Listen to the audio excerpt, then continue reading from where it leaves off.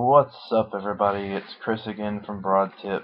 Got another tutorial for you guys in Lightroom 4. I'm going to teach you how to rescue your photos. Um, apologize if my audio quality is a little different this time. I'm uh, using my on-computer microphone, so that's not ideal. But it's the only thing I have right now. So let's go ahead and get started. Um, I have this picture I took in Birmingham, Alabama at Linn Park. Um, it's a cool picture. I like the uh, the reflections in the water. You got some some moss and some leaves. Got some nice kind of fallish colors in the trees. The sky's blown out. The building is really low contrast, and uh, it's not perfect, but it is salvageable. So let's go ahead and get started. First of all, let's open this up. We're gonna crop it. Um, I do like these leaves down here and stuff, but it doesn't really add anything to the photo. It kind of takes your attention away from the uh, reflections. So let's crop most of those leaves out. Now, this is pretty much in the center the building is, but I'm going to crop just a little bit off of this side. Pull that right into the center. And what I'm watching is this pool of water right here. And I want to try to get this as much in the center and this as much in the center as I can. And that's about as good as I'm going to get it. Just compromising as much as I can. Or as little as I can here. Um, I might move this down a bit. Try to get some of the sky out of the photo. It's, it doesn't do a whole lot for me. It's going to bring some of those leaves back in, which I, I think I like. Let's see how that looks. Alright, I can handle that. Alright, so next step is going to be to come over here, and I see that the overall picture is just overexposed. So I'm just going to look at it, see what I can do with the exposure here. And then watch if I pull all the way down, you start to get some of that, that quality back in the sky. But I'm, I'm just going to reset that. Just, you know, I know what I'm going for now. Alright, so I'm going to come to my highlights, and I'm going to kill them. And that's going to bring the picture back in the sky. It's still going to be really low contrast, but it's it's getting some of the uh, the detail back. And the shadows, I'm going to raise these up not too much. I don't want to blow, this, blow the shadows out too much, but I am going to hold Alt. I'm going to click on my whites, and I'm going to pull this up until I start to see a couple of pixels. You really don't want to overdo this. It's going to screw up your picture. So I'm going to get it down so just when I see the, the pixels start to go away, and I'm going to let off, and that's going to be about it. I'm going to do the same thing to the blacks, but in the opposite direction. You see I already have a good bit of uh, blacks that are completely burnt out. So I'm not going to do a whole lot there. Alright, so I have my quality back. So now let's go back up here to the exposure and we're going to knock it down a little. Not too much. It's, it doesn't need a whole lot. I'm going to mess with the contrast too, and that's going to make it seem a little darker. Okay maybe a little more. I'm okay with that. Now let's come back here and let's bring it up a bit. I'll probably end up putting it back later. Alright, so what I see now is that one, I'm, I can't really tell you what I my camera auto focused on. I think it was the fountain. But I'm getting a little bit of blurriness here, so I'm just going to go straight down here to detail.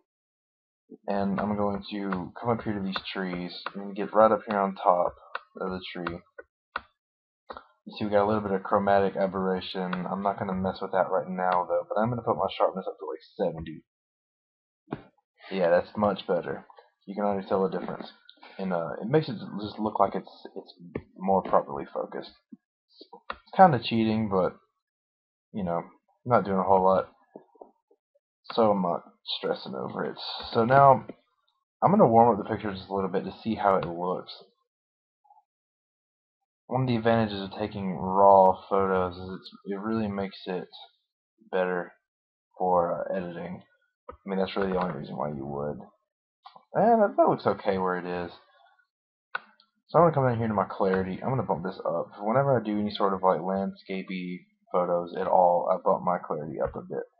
And um, I noticed that bumping the clarity up does take away a little bit of the colors. So I'm going to take my saturation, I'm going to bump it up just a tad. And then I'm, I'm going to mess with the vibrance. There's not a whole lot that that's going to do. I mean, it's going to pull some of the blues back in the sky, but I'm probably going to do that later anyway. Okay, let's let's reset the saturation. We'll bump the vibrance up. Let's see See what we can get there. Let's put that all the way up. I really like the blue down here in the water. Now let's bump the saturation down until we get what we want. Alright, I can handle that. I mean, it's still a little bit too saturated. Let's come back to its contrast. Maybe bump it back down just a tad. Uh, no, I really don't want to sacrifice that contrast. That just makes it more clear. Hmm. Maybe we can mess with the con the clarity a bit. I do really like the clarity. Hmm. Let's just reset all of it right for now. And then we'll bump the vibrance up just a bit. I'm not going to go as far as I did a minute ago, but I do like the, the way it's doing to the greens. So right now, I know that I do want this sky up here to be blue, so I'm going to go get myself a brush. And I'm going to put that back down to where it was, and then give myself a pretty decent uh, exposure drop, just so I can see what I'm doing. I'm going to decrease my brush size, and I'm just going to paint. And um, wonders of Lightroom is it actually masks for you and doesn't get over into the trees and stuff. So that's that's always really nice. Um, I, it looks like I might have gotten lucky and picked the right exposure setting first try. I'm gonna just paint all this up here, all this sky. Try to stay off that building as much as I can. Now I'm gonna come back up here to the exposure and I'm gonna up just a bit put my contrast up. That's more what I want, not so much the exposure. And I might bring my highlights down. If I can do a whole lot, it's just gonna make those clouds look a little bit fluffier. Bring my clarity up some. Okay, now I'm gonna hit, hit oh wait, no, no, no, not done. New, that's what I want. New is gonna create a new brush and let you make a completely different brush other than this one up here. Now I'm gonna come down here to my my blues in this water, and I'm just gonna try to avoid all the green and like the uh, the reflection of the trees, and just get the reflection of the sky and the building. I'm just gonna get all that selected. now I'm going to bring that up a bit. I'm going for here is to bring some of the blues back. So I'm going to bump this exposure down just a bit. And I'll bring my contrast up. See, saturation is probably what I want here. Yeah, that's nice. Done a little bit. It looks a little too teal. I'm gonna hit done. Alright, that that was pretty good. Alright, now let's uh let's move down our our little bar over here. First let's get rid of this. We don't really need that right a second. and this as well. I'm gonna come to this HSL colored black and white and uh I don't really like the color of these trees so much. So I'm going to just click this. And I'm going to come over here and I'm going to select myself a nice neutral green color. And it's going to give me a yellow. So I'm going to bump this down to orange, more towards the orange color. And it's going to make it look a lot more folly. You don't want to go too much, but just enough to make a little bit of a noticeable difference. Not so much that it looks unrealistic though. Now, I'm going to come up here to the blue, and I'm going to move this a little bit more towards the, the teal side. Too much. Just kind of change the time of day on myself there. Alright, now I'm going to get out of the hue. I'm going to come down to saturation. And I'm going to make the uh, sky pop a little bit more by taking some of the color out of the trees. So I'm just going to desaturate that a little bit. Just Let's make it look a little bit more realistic. And I'm going to try to bump this up some, see how that looks. Yeah, just a little bit. Okay, it's looking very HDR-ish right now.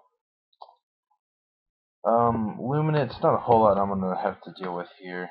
Um, I'm pretty happy with everything. I might might mess with the green a bit, just see what I can do. I'm actually okay with darkening that just a little bit. That was good. I like that a lot. Alright, I'm gonna come back here and close that. Come back down to my detail, and like I said earlier, I got some chromatic aberration right there. I look in the detail. But then, when we come to lens correction, manual, and um, right here my lens vignetting in my landscape photos, I always like to do the lens vignette rather than the post crop vignette. So I'll just play with it, see if I can find anything good with it. But it doesn't look like that's gonna do anything desirable. I, I might actually be okay with doing a little bit of a white vignette there. I actually like that a lot. I'm going to put that about 30. Um, I'm going to go to color and remove chromatic aberration. So click on that and uh, get, get this bazoon back in. Alright, you see it kind of makes this weird little halo effect. So I'm going to come in here to my green hue and I'm going to push this like all the way up. And give it a second. Alright, I mean it's helping a little bit. Um, see if I, I just disable that. Yeah, it makes a big difference. It just makes it look more sharper, I guess, and no one's ever going to be looking in this close. I'll bump this up to see how that does. That's going to mess more with this building right here. Yeah, that looks good right there. Okay, let's look at profile, and I'll enable the profile corrections to see what it'll give me. Oh yeah, I have to select Canon. Like that's really going to do a whole lot. Shots like this, it doesn't make that big of a difference. I, uh, it's kind of trippy to look at. I, I'm going to keep it off, though. Might look a little bit off to people in the video, but trust me, it's for the best. Now I'll come play with the post-crop vignette just to see if there's anything. I want to try to like cancel back some of that white I left. That's going to be a no, so Okay, um, I noticed that I'm not super happy with the the uh, composition yet, so I'm gonna do do this. Hmm, I can't really seem to get it quite happy with it. I mean, that's the downsides of not starting out with that great of a photo. Alright, that'll work. Alright, so let's look at it before and after. It's going to be a pretty big difference. And um, see, we took this photo right here where the sky is all blown out and it's just not very colorful, really low contrast. And we turned it into this really beautiful HDR almost photo right here with some really nice pic or colors in the trees and this great reflection in the water and this little reflecting pool here of the fountain. So if you enjoyed this and you want to learn some more about Lightroom, maybe some uh, After Effects and Premiere later on down the road, make sure to subscribe to BroadTip. Thanks for watching.